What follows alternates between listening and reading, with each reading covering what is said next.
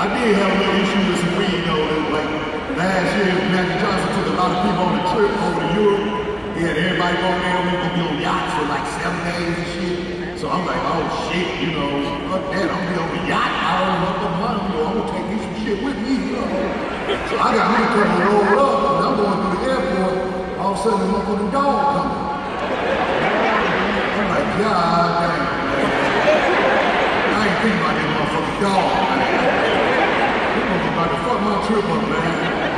And everybody told me like that, man, you know, the dog, like the dog be walking up on you and they be sniffing and shit. And the thing is, if the dog keep moving, you good. But if he sit down, don't think he trying to get pet. Nigga, that's your ass.